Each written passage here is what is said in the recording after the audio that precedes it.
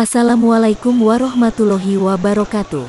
Pemirsa masih bersama saya, Marsa Presenter Artificial Intelligence Prioritas TV.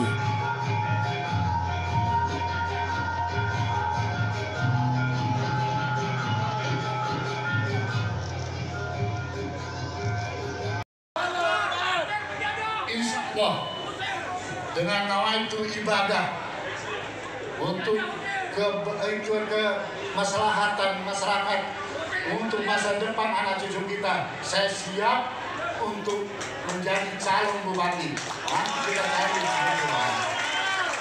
Alhamdulillahirrahmanirrahim Ya Allah. Assalamualaikum warahmatullahi wabarakatuh. Selamat malam Tabi pun. Pemirsa Prioritas TV kami kabarkan atmosfer politik di Tanggamus menghangat dengan pernyataan sikap dari Haji Saleh.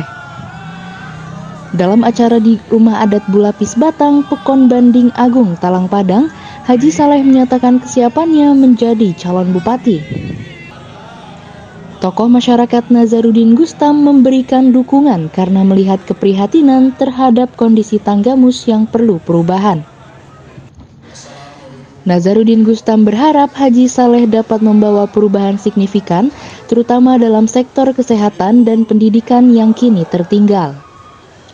Jadi yang menjadi dasar masyarakat Kabupaten Tenggamus meminang atau mengharapkan Bang Haji Saleh ini untuk maju sebagai calon bupati Kabupaten Tenggamus 2024-2029 adalah ini merupakan keprihatinan bagi warga masyarakat Kabupaten Tenggamus yang selama ini melihat kondisi Kabupaten Tenggamus yang seperti ini. Oleh karenanya kami sepakat dari tokoh-tokoh masyarakat antar lintas suku, tokoh adat semuanya berharap untuk Bang Haji ini pulang kampung. Pulang kampung ingin mengabdi beramal di Kabupaten Tenggamus ini untuk manfaatkan ilmu dan pengetahuannya di Tangerang Selatan supaya dibawa pulang ke Tenggamus. Sehingga insya Allah kalau beliau ini duduk sebagai Bupati Tenggamus, beliau sudah mengatakan memang Tenggamus itu potensinya luar biasa, kata beliau. Daerahnya kaya, punya gunung, punya laut, dan lain sebagainya.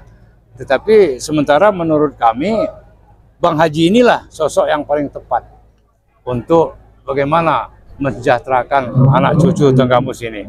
Sehingga dengan harapan beliau ingin, nah Alhamdulillah pada hari ini tadi, beliau sudah menjawab langsung apa yang menjadi pertanyaan dari masyarakat Kabupaten Tenggamus, bahwa apa jadi, apa iya, apa bagaimana. Karena kita melihat kesibukan beliau di Tangerang. Namun Alhamdulillah pada hari ini tanggal 11 November 2023 di rumah beliau di Bulapis Batang, Pekon Banding Agung, Kecamatan Telang Padang ini kita saksikan bersama tadi bahwa insya Allah beliau siap untuk dicalonkan dan kami siap untuk mendukung beliau. Seperti ini bahwa masyarakat e, merasa pemerintahan sebelumnya gagal, Pak. Sebenarnya kalau dikatakan gagal tidak, namun menurut kami apa ya kalau kita banding-bandingkan dengan kabupaten yang lebih muda dari kita, Prengsewu dan lain sebagainya, kita ini kan jauh ketinggalan. Oleh karena itu, untuk bagaimana caranya supaya kita bisa lebih dari Prengsewu, lebih dari pesisir barat, yang usia kita ini kan dari Kabupaten Prengsewu lebih tua dari mereka. Nah ini yang menjadi harapan. Menjadi potensi besar untuk kemajuan sendiri yang perlu diprioritaskan? Yang jelas kami berharap seperti hal ini contohnya rumah sakit umum daerah ya. Kami ini kan di masyarakat Tanggamus ini kalau ada orang sakit kepala sedikit aja karena masing-masing sudah punya ambulan dia mesti harus lari ke Prengsewu. Hmm, paling tidak lari ke apa namanya rumah sakit Shanti. Kenapa? Karena di Kabupaten Tanggamus sendiri susah untuk mendapatkan akses kesehatan itu. Kadang dokternya nggak ketemu dan lain-lain sebagainya. Tuh. Sektor kesehatan perlu digenjot. Perlu digenjot. Kemudian pendidikan. Kita ini kan udah ketinggalan. Nggak ada perguruan tinggi di Tanggamus ini. Kapan anak mau kuliah sudah lari ke Prengsewu dan lain sebagainya. Nah, itu harapan kita. Dengan Bapak siapa di sini? Saya Nazarudin Gusam. Haji Saleh dengan keyakinan tinggi menyebut bahwa Tanggamus memiliki potensi luar biasa yang perlu digali. Ia berjanji untuk mendatangkan ahli-ahli di berbagai bidang guna mengoptimalkan potensi pertanian, kenelayanan, dan pariwisata. Menariknya, Haji Saleh menyebut bahwa keterlibatannya dalam politik merupakan pengabdian terakhirnya yang dipicu oleh dorongan tokoh masyarakat. Ia fokus pada mempopulerkan dirinya di Tanggamus sebelum memperoleh dukungan partai dan mendeklarasikan diri sebagai calon bupati. Dengan visi pembangunan yang kuat, Haji Saleh menegaskan bahwa pemerintah daerah perlu menggali potensi untuk meningkatkan pendapatan asli daerah, memastikan kekayaan Tanggamus dimanfaatkan untuk kemaslahatan masyarakat. Hari ini, Haji Saleh mengajak masyarakat Tanggamus untuk mendukungnya. Menegaskan bahwa niatnya mencalonkan diri adalah bentuk ibadah untuk meningkatkan harkat derajat orang Tanggamus. Dengan fokus pada memahami dan mengoptimalkan potensi daerah, ia berharap bisa membawa Tanggamus ke tingkat kesejahteraan yang lebih baik. Seandainya Pak Haji terpilih nanti, apa yang menjadi prioritas Pak Haji dalam membangun Tanggamus? Jadi yang pasti itu kita akan mensejahterakan masyarakat Nanggamus ya. Itu pembangun-pembangunan itu nanti kita akan lihat potensi-potensi yang ada. Kita akan datangkan nanti beberapa ahli-ahli, baik ahli pertanian, ahli pertanian, ahli kenelayanan, ahli wisata, ahli ini kita akan pelajari semua dengan dengan target bahwa kita itu dalam waktu sekian tahun itu penghasilan asli daerah kita akan ada atau paling tidak meningkat.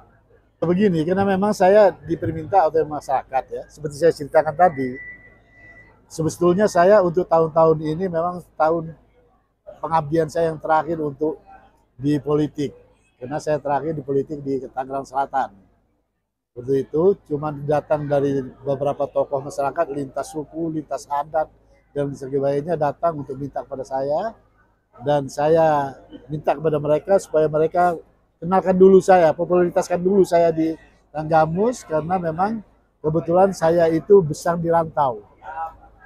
Nah setelah akhirnya setelah dipopularitaskan di sana, saya kirim orang ke orang ahli secara silent, saya kirim orang-orang ahli tanpa ketahuan itu dan hasilnya ternyata memang masyarakat itu betul-betul menginginkan perubahan di kampus ini.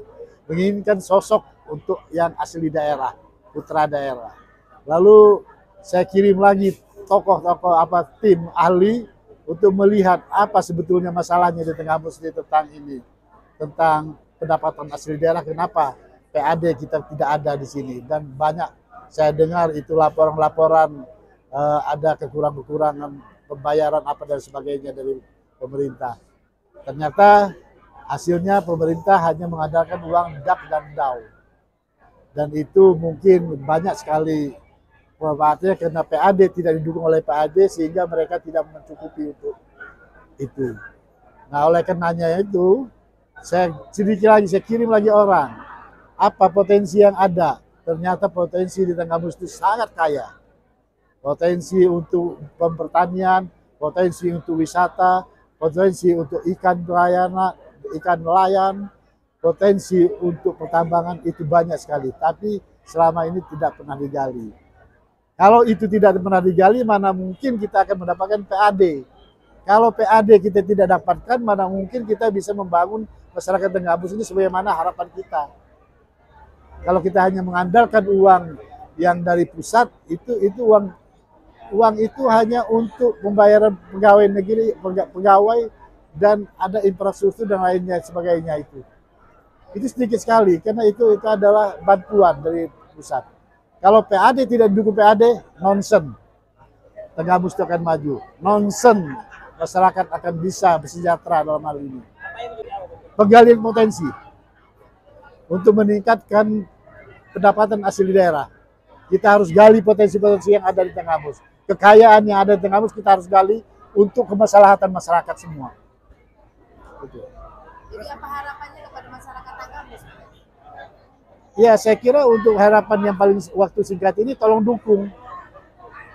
dukung saya untuk saya menjadi bupati karena saya nyawa itu saya hanya ibadah untuk mengangkat harkat derajat untuk orang-orang Tenggamus supaya mereka bisa sejahtera supaya bisa bisa mereka mensekolahkan anak-anaknya dengan caranya apa gali potensi-potensi yang ada di kita manfaatkan sebesar-besarnya untuk kepentingan masyarakat banyak pernyataan sikap hari ini hanya sikap pribadi saya ya. Belum, kita belum mendapatkan partai pendukung atau yang ini. Nanti kalau kita sudah, ini kita sekarang yang kita yang pentingkan kita akan sadarkan dulu masyarakat. Akan ini kan popularitas kita dulu dengan masyarakat. Nanti partai kemudian nanti akan menyusul. Menyusul dan baru kita akan deklarasi siapa wakil siapa ini. Gitu. Jadi sampai sekarang belum terbayang itu.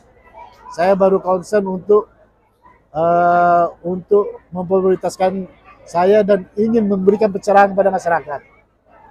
Gitu. Dari Kabupaten Tanggamus, Marsha mengabarkan,